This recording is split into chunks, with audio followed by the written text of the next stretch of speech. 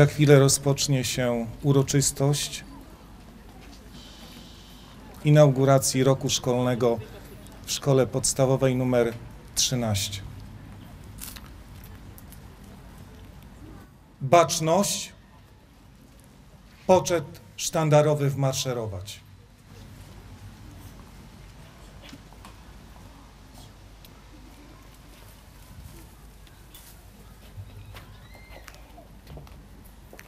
Do hymnu. Jeszcze Polska nie zginęła, kiedy my żyjemy. Co nam obca przemoc wzięła, szablą odbierzemy. Marsz, marsz Dąbrowski, z ziemi włoskiej do Polski. Za Twoim przewodem złączym się z narodem. Marsz, marsz Dąbrowski, z ziemi włoskiej do Polski. Za Twoim przewodem złączym się z narodem. Przejdziem Wisłę, przejdziem Wartę, będziem Polakami. Dał nam przykład Bonaparte, jak zwyciężać mamy. Marsz, marsz Dąbrowski, z ziemi włoskiej do Polski. Za Twoim przewodem złączym się z narodem. Marsz, marsz Dąbrowski, z ziemi włoskiej do Polski. Za Twoim przewodem złączym się z narodem. Jak Czarniecki do Poznania po szwedzkim zaborze, dla ojczyzny ratowania wrócim się przez morze. Marsz, marsz Dąbrowski, ziemi włoskiej do Polski, za Twoim przewodem złączym się z narodem. Marsz, marsz Dąbrowski, z ziemi włoskiej do Polski, za Twoim przewodem złączym się z narodem. Już tam ojciec do swej Basi mówi zapłakany. Podaj jeno pono nasi biją w tarabany. Marsz, marsz Dąbrowski, z ziemi włoskiej do Polski. Za Twoim przewodem złączym się z narodem. Marsz, marsz Dąbrowski, ziemi włoskiej do Polski. Za Twoim przewodem złączym się z narodem. Dzisiejszą uroczystość rozpoczęcia roku szkolnego w 13 y, uświetnił swoją obecnością prezydent Tomaszowa Mazowieckiego, pan Marcin Witko. Witamy bardzo serdecznie, panie prezydencie. Witam bardzo serdecznie bohaterów dzisiejszego dnia, czyli uczniów klas pierwszych, drugich i trzecich. Witam bardzo serdecznie przybyłych rodziców, dziadków, opiekunów dzieci, a także grono pedagogiczne Szkoły Podstawowej nr 13. Jest piękny dzisiaj bardzo dzień i oby ta pogoda towarzyszyła nam przez cały rok szkolny. Ta pogoda zewnętrzna, ta pogoda duchowa, e, ta pogoda w świecie, pokój w świecie i abyście z radością też w pokoju, spokoju mogli zakończyć ten rok szkolny, czego Wam życzymy w imieniu całej Rady Pedagogicznej. Proszę o zabranie głosu panią dyrektor Kamilę Madziu. Bardzo serdecznie witam na dzisiejszej uroczystości rozpoczęcia roku szkolnego klas 1-3 w Szkole Podstawowej nr 13 naszego zacnego gościa, pana prezydenta. Jeszcze raz witam. E, witam Was, drodzy uczniowie. Witam rodziców. Witam nauczycieli i pracowników Szkoły Podstawowej nr 13. A szczególnie miło chciałabym powitać najmłodszych uczniów, tych, którzy w dniu dzisiejszym rozpoczynają naukę w naszej szkole, naszych drogich pierwszoklasistów. Ym, Chciałabym, żebyście nam się tutaj pokazali, czyli zrobili krok do przodu, a żeby Was ośmielić, to przedstawię Wam najpierw Wasze panie. Wychowawczynią klasy pierwszej A jest pani Katarzyna Przybysz.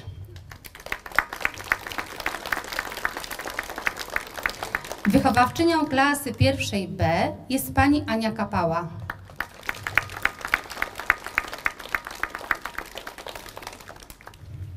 Tak, myślę, że już pierwsze koty za płoty. Witamy Was bardzo, bardzo ciepło. Cieszymy się, że jesteście w naszej szkole i dla Was dzisiaj zaczyna się przygoda ze szkołą. Pamiętajcie, że zawsze możecie liczyć na nas, na osoby dorosłe, nauczycieli, na pracowników szkoły, na Waszych rodziców i y, Waszych starszych kolegów. Drodzy uczniowie, minął już czas wakacji i odpoczynku. Teraz przed nami kolejny rok szkolny. Czas nowych wyzwań i nowych celów. Mam nadzieję, że choć przed nami mnóstwo pracy, uda nam się przeżyć wiele wspólnych, dobrych chwil. Szkoła to nie tylko miejsce zdobywania wiedzy, umiejętności i nauki, ale również zdobywania wielu nowych. Był dla Was bardzo radosny, bezpieczny i przede wszystkim pracowity, abyście mogli osiągać mnóstwo sukcesów, mniejszych, większych, ale żeby było mnóstwo sukcesów. Tego Wam serdecznie życzę. Wam, drodzy rodzice, życzę dużo siły, dużo spokoju i zadowolenia z postępów Waszych dzieci i w ogóle zadowolenia, yy, wielu powodów do zadowolenia. Drogie wychowawczynie klas 1-3, drodzy nauczyciele, Wam przede wszystkim życzę dużo cierpliwości, wytrwałości, dużo zapału do pracy i satysfakcji z osiągania efektów swojej pracy. Rok szkolny 2022-2023 uważam za otwarty i życzę wszystkim powodzenia.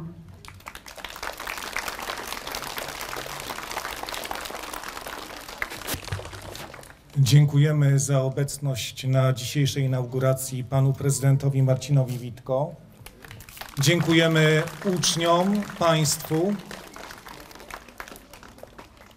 Baczność.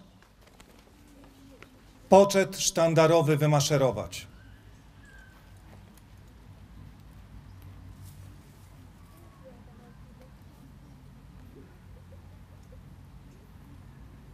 Spocznij. Teraz nastąpi spotkanie uczniów z wychowawcami klas. Bardzo serdecznie Państwu jeszcze raz dziękujemy za obecność. doświadczeń. Wszyscy uczymy się tu współpracować, rozwiązywać problemy, wspierać się nawzajem i przede wszystkim szanować.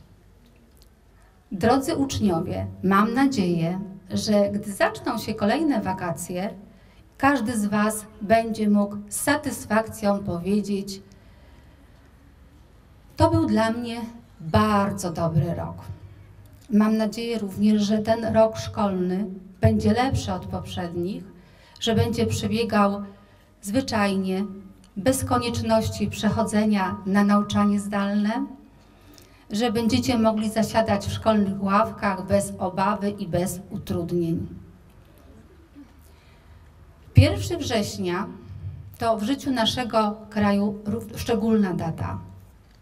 To nie tylko dzień rozpoczęcia roku, to również rocznica, w tym roku 83. rocznica wybuchu II wojny światowej.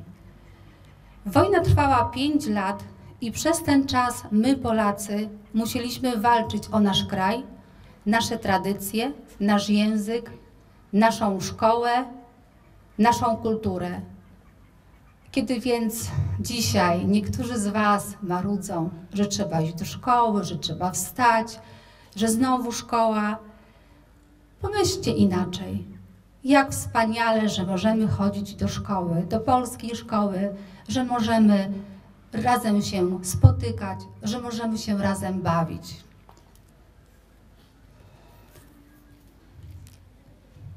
Za chwilę też przekażę ważne informacje dotyczące nowego roku szkolnego, ale wcześniej poproszę o zabranie głosu naszego gościa, e, pana prezydenta.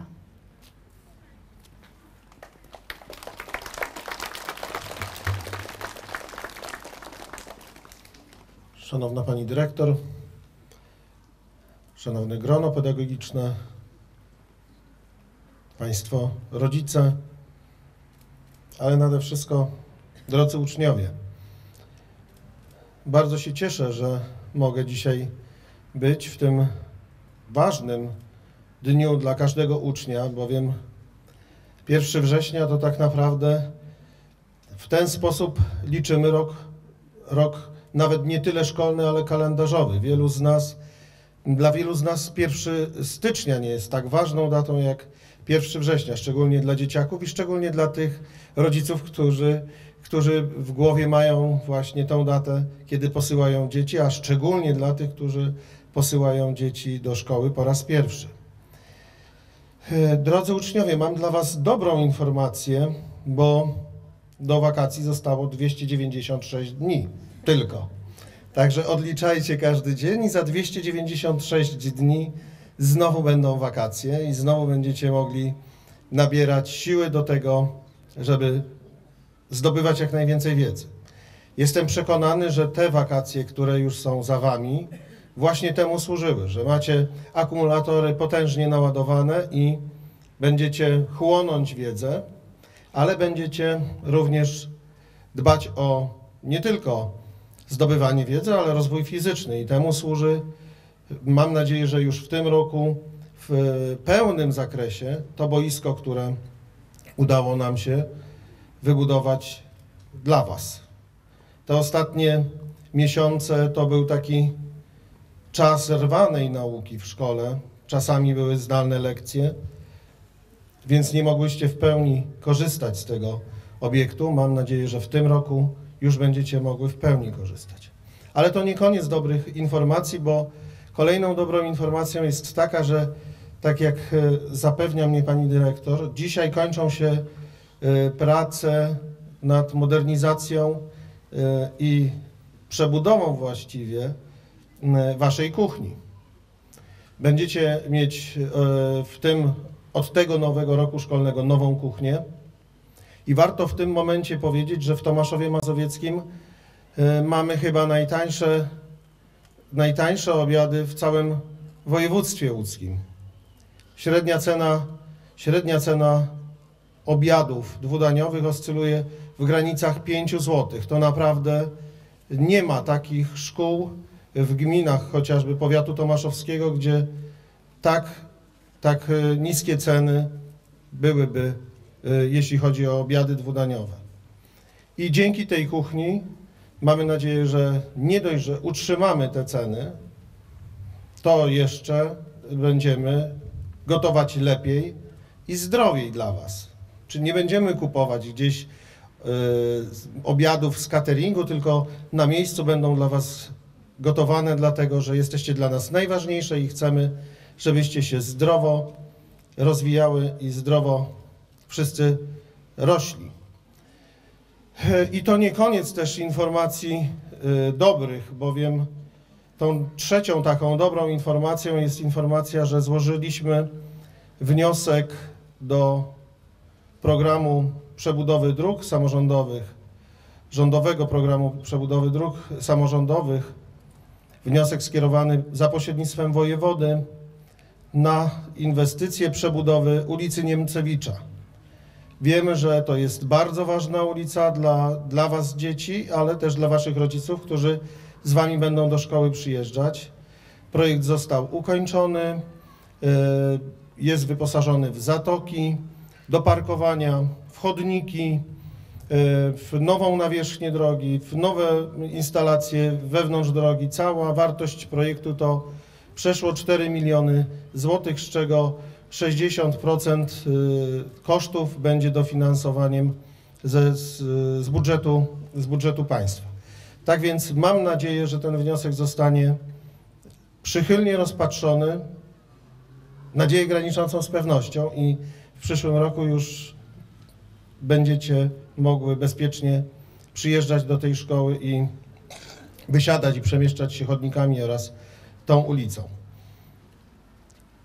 Wiecie dobrze, że jak przyjeżdżam do Was i coś zapowiadam, to to się staje tak, jak miało miejsce z tym e, boiskiem i tak samo będzie z ulicą Niemcewicza. Zresztą tak samo było z ulicą Popiełuszki, tak samo jest w tej chwili z ulicami w osiedlu Mickiewicza, więc i tak będzie z ulicą Niemcewicza, że będzie ona wyremontowana, wy- wybudowana, żeby Wam służyła. Na koniec chciałbym życzyć Wam wszystkim samych sukcesów, wytrwałości w nauce oraz szczęśliwego nowego roku szkolnego. Panie prezydencie, 1 września to jest piękna data, chyba dla wszystkich dzieci. Mimo, że niechętnie niektóre przychodzą do szkoły, ale to jest naprawdę piękny dzień. Czy pamięta pan swój pierwszy dzień w szkole? E, Pierwszego dnia chyba nie pamiętam.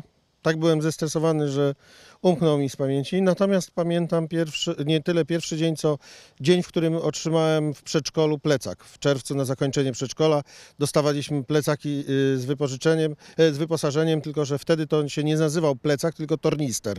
I taki tornister pamiętam do dziś, jak wyglądał i w co był wyposażony. A jak pan był ubrany pierwszego dnia, kiedy pan do szkoły poszedł? No już za moich czasów to wszyscy byli ubierani jednakowo. W szkole w, oczywiście w mundurki granatowe z białymi kołnierzykami, a na rozpoczęcie roku mieliśmy luz, bo mogliśmy pójść w granatowych spodniach i w białych koszulach. I tak byłem ubrany. Pierwsza ocena? E, Pierwsza ocena e, była piątka. Pamiętam, że nie mogła być inna, bo pa- pamiętam, że strasznie przeżywałem czwórkę w trzeciej klasie, jak dostałem pierwszą czwórkę. W trzeciej klasie to strasznie ją przeżywałem, więc, więc musiała być piątka, chociaż te, tej piątki nie pamiętam. Pan prezydent odpytany 1 września. To teraz, panie prezydencie, jak będzie wyglądał ten nowy rok szkolny? Czy będzie lepszy? Czy będzie z niespodziankami jakimiś? E, Nasze miasto się rozwija i bardzo się cieszę, że powstają nowe inwestycje w mieście, ale też e, cieszę się, że pamiętamy o szkołach.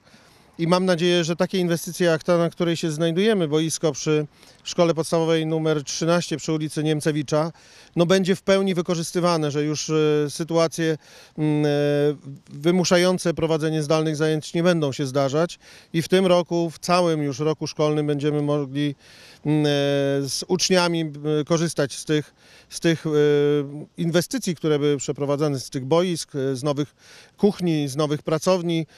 Wiele w, i w te wakacje, wiele w tym ostatnim czasie się działo w tomaszowskich szkołach, ale wiele będzie się działo w, też w, w najbliższej przyszłości, więc niech ci, którzy e, korzystają z tego, mogą korzystać.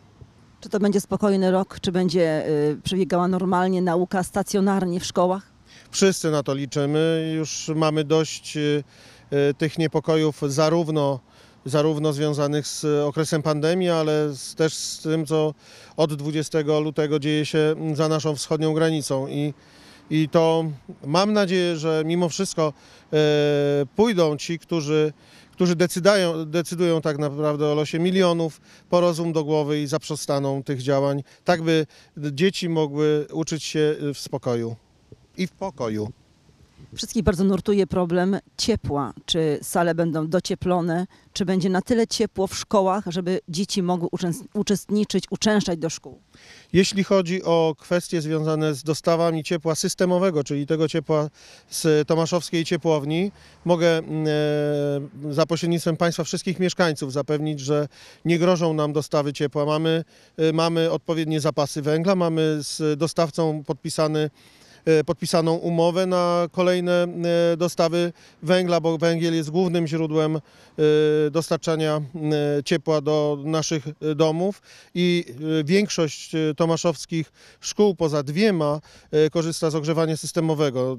E, Dwie Białobrzegi i Ludwików e, korzystają z ogrzewania olejowego i tam też takowe zapasy są gromadzone na zimę, tak żeby dzieciaki nie zmarzły nam w szkołach.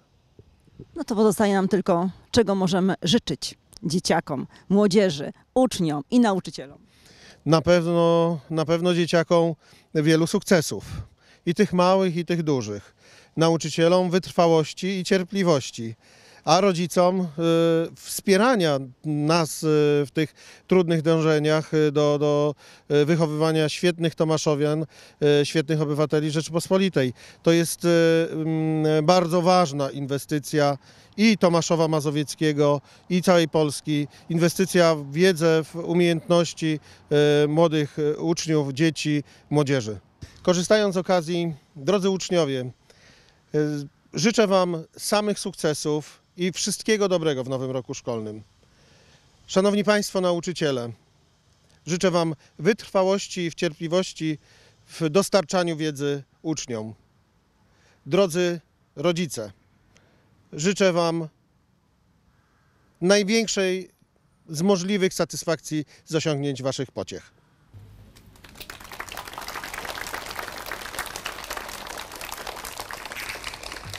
Dziękuję bardzo, panie prezydencie.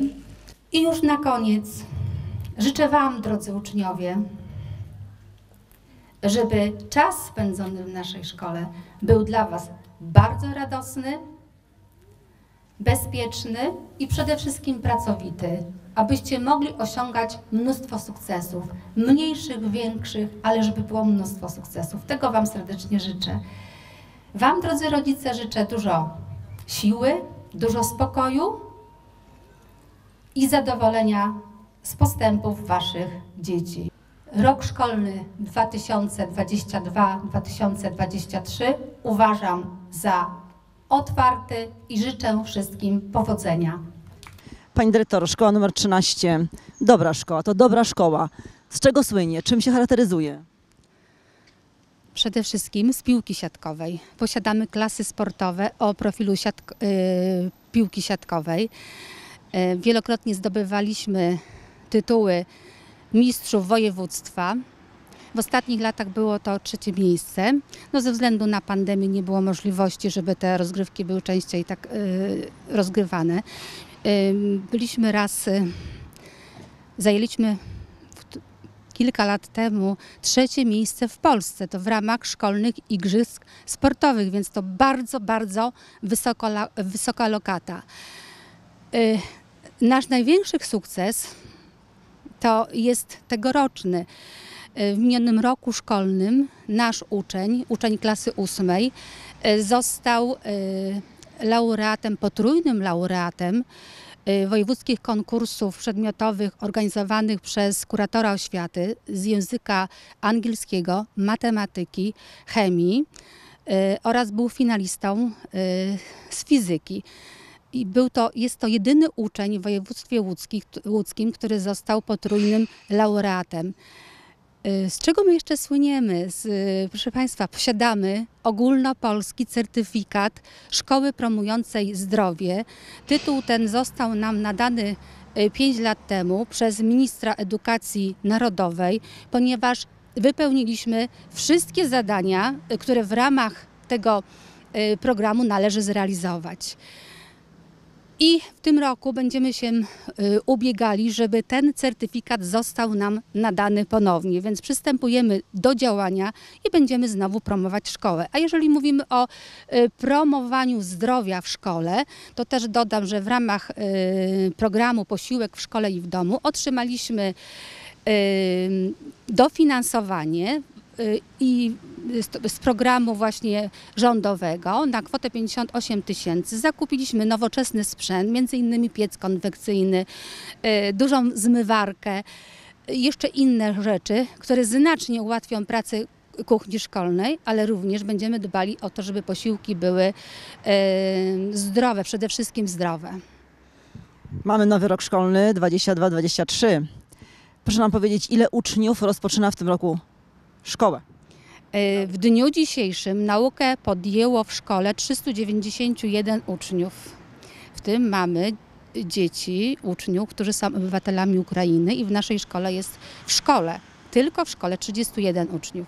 Ale w naszej szkole jest również oddział przedszkolny. W oddziale przedszkolnym mamy 25 uczniów i 3 uczniów z Ukrainy i y, w przedszkolu, ponieważ w skład zespołu wchodzi również przedszkole. W przedszkolu mamy 100 uczniów i 9 uczniów z Ukrainy. Czyli razem to jest ponad 500 y, dzieciaczków w zespole szkolno-przedszkolnym numer 1 w Tomaszowie Mazowieckim. Jaki to będzie rok? Ten nowy rok szkolny. Czy to będzie dobry rok?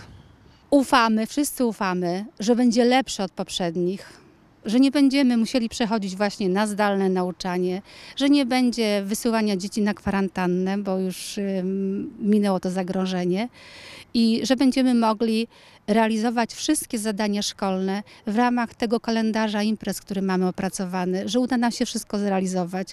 No i oczywiście, gdy przyjdzie koniec roku, powiemy, super było. To czego Wam możemy życzyć?